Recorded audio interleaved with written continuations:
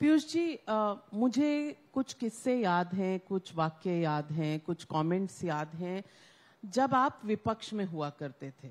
और ये कमेंट्स आते थे जब रुपए की कीमत बनाम डॉलर लुढ़क लुढ़क के लुढ़क लुढ़क के नीचे आती थी तो आप बहुत से तीर चलाते थे उस समय की सरकार जो यूपीए सरकार थी।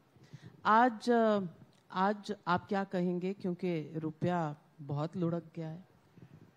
पहली बात तो ये स्पष्ट कर दूँ कि रुपए की कीमत डॉलर के निस्बत कम हुई है, लेकिन बाकी सभी लगभग करेंसीज के सामने रुपए अप्रिशिएट किया है, चाहे वो जापानीज येन हो यूरो हो पाउंड हो। तो एक चीज़ तो स्पष्ट है कि पूरे अंतरराष्ट्रीय पटल पर सभी करेंसीज डॉलर के सामने वीक हुई है। भारत कम कमज़ोर हुई है।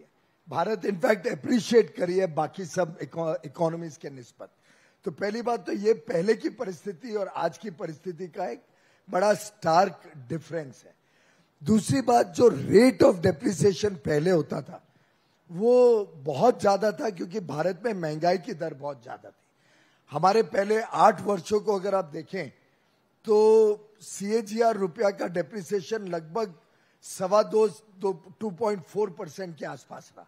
जबकि पहले साढ़े तीन परसेंट सीएजीआर रुपया डिप्रिशिएट करता तो लगातार सुधर रही थी हमारी आर्थिक स्थिति और रुपए की कीमत कंपैरेटिवली ये एक छह आठ महीने में युद्ध के कारण एक विशेष परिस्थिति रही।